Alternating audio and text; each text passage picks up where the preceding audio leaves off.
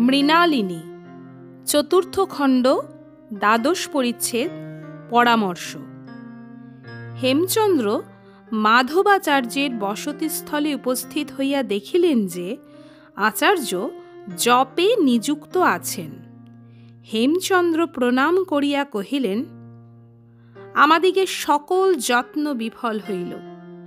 এখন ভৃত্যের প্রতি আর কি আদেশ করেন? জবন গৌড় অধিকার করিয়াছে।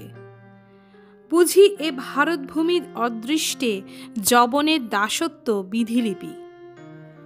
নচেত বিনা বিবাদে জবনেরা গৌড় জয় করিল কি প্রকারে?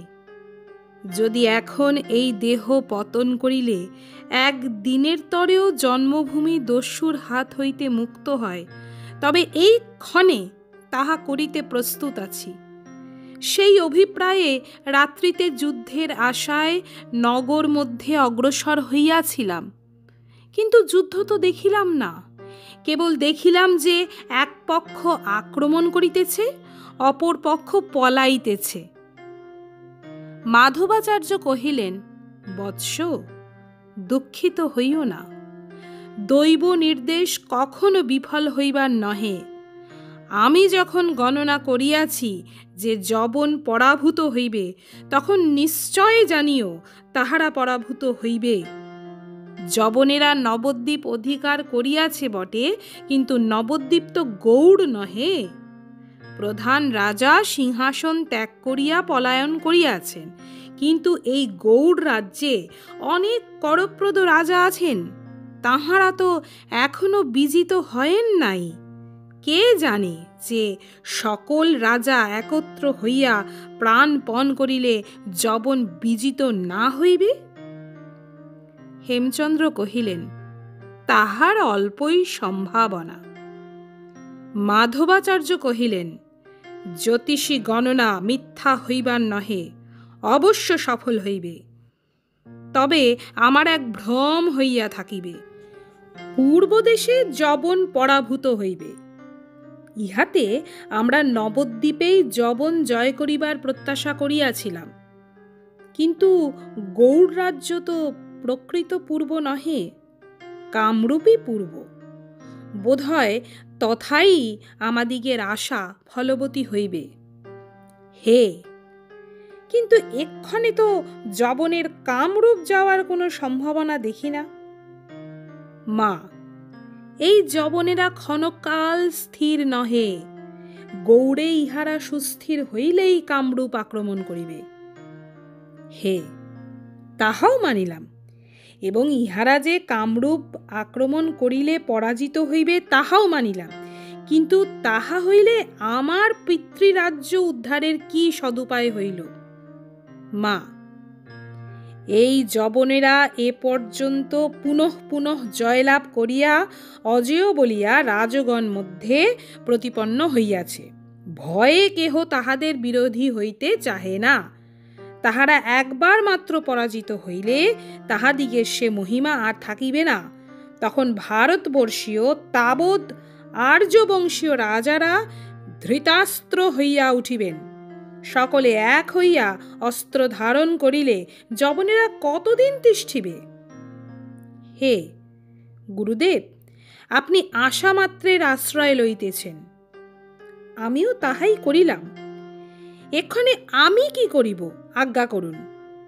মা, আমিও তাহাই চিন্তা করিতেছিলাম। এ নগর মধ্যে তোমার আর অবস্থিতি করা অকর্তব্য। কেননা যবনেরা তোমার মৃত্যু সাধন সংকল্প করিয়াছে। আমার আজ্ঞা, তুমি অদ্যই এ নগর ত্যাগ করিবে। হে, কোথায় যাইব? মা, আমার সঙ্গে কামরূপ চলো। হেমচন্দ্র অধবদন হইয়া, অপ্রতিভ হইয়া মৃদু মৃদু কহিলেন, মৃণালিনীকে কোথায় রাখিয়া যাইবেন? মাধবাচার্য বিস্মিত হইয়া কহিলেন, সে কি? আমি ভাবিতেছিলাম যে তুমি কালিকার কথায় মৃণালিনীকে চিত্ত হইতে দূর করিয়াছিলে। হেমচন্দ্র পূর্বের ন্যায় মৃদুভাবে বলিলেন, মৃণালিনী অত্যাজ্যা, তিনি আমার পরিণীতা স্ত্রী। মাধবাচার্য চমৎকৃত হইলেন, রুষ্ট হইলেন, ক্ষোভ করিয়া কহিলেন আমি আর কিছুই জানিলাম না। হেমচন্দ্র তখন আদ্যপান্ত তাহার বিবাহের বৃত্তান্ত বিবৃত করিলেন। শুনিয়া মাধবাচার্য কিছুক্ষণ মৌনী হইয়া রহিলেন। কহিলেন, যে স্ত্রী অসদাচারিণী, সে তো শাস্ত্রানুসারে ত্যাজ্যা। মৃণালিনীর চরিত্র সম্বন্ধে যে সংশয় তাহা কালই প্রকাশ করিয়াছি। তখন হেমচন্দ্র বোমকেশের বৃত্তান্ত সকল প্রকাশ করিয়া বলিলেন, শুনিয়া মাধবাচার্য আনন্দ প্রকাশ করিলেন। কহিলেন, বৎস, বড় প্রীত হইলাম। তোমার প্রিয়তমা এ বঞ্চ গুণবতী ভার্যাকে তোমার নিকট হইতে বিযুক্ত করিয়া তোমাকে অনেক ক্লেশ দিয়াছি। এক্ষণে আশীর্বাদ করিতেছি। তোমরা দীর্ঘজীবী হইয়া বহুকাল একত্র ধর্মাচরণ করো।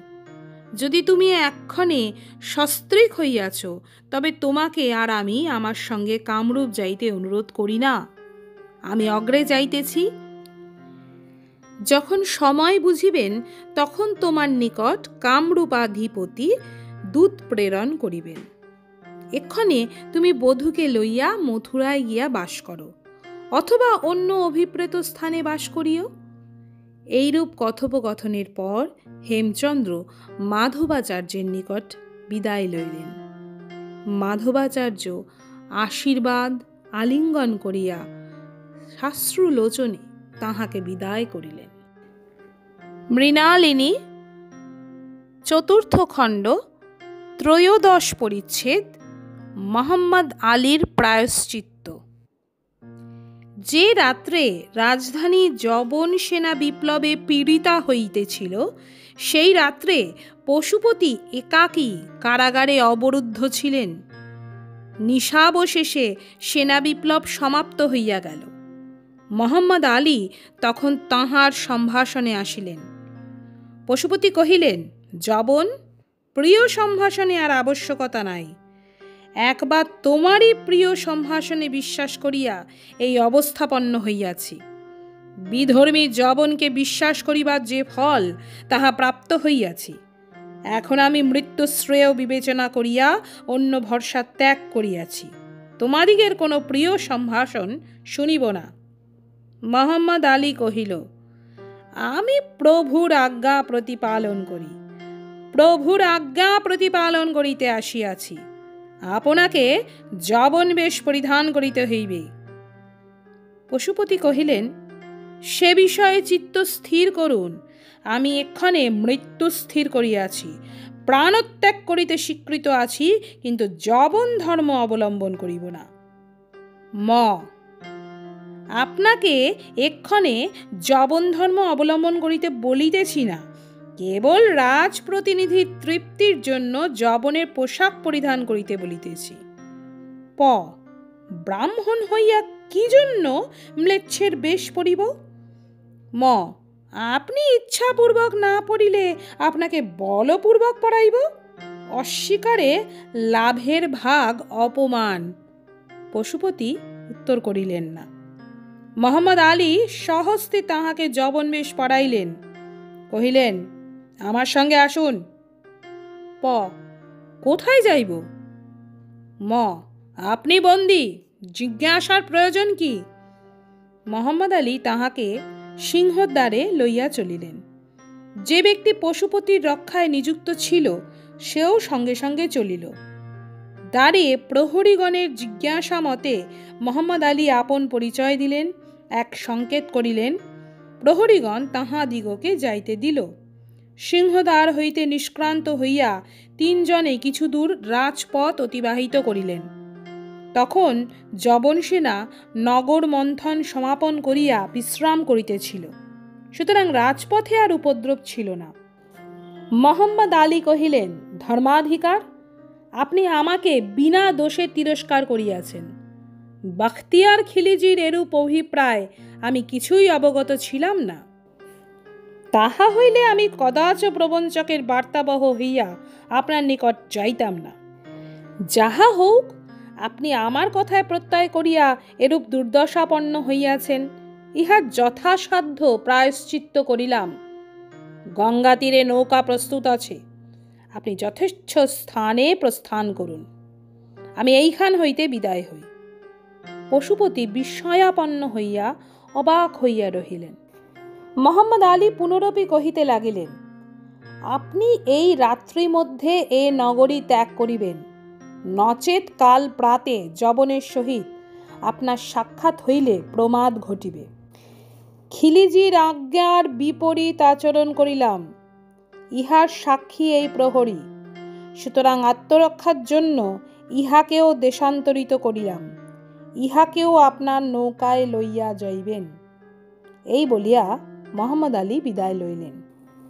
পশুপতি কিয়ৎকাল বিস্ময়াপন্ন হইয়া থাকিয়া গঙ্গা তীরাভিমুখে চলিলেন।